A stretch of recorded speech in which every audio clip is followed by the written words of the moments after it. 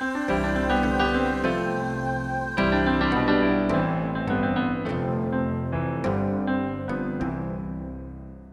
church has started a contemporary service about a year ago to try and appeal more to young families and try and be more casual and allow people to come worship any way they want, in any way they're comfortable. It's a much more inclusive service. We have we stand up and sing joyful praise songs and it's really been attracting a good crowd.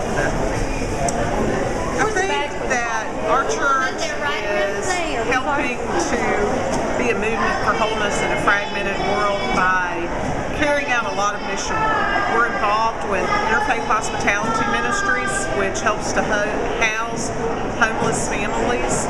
We are taking a mission trip to El Salvador in November to a community called Puente Azul that our church has become involved with.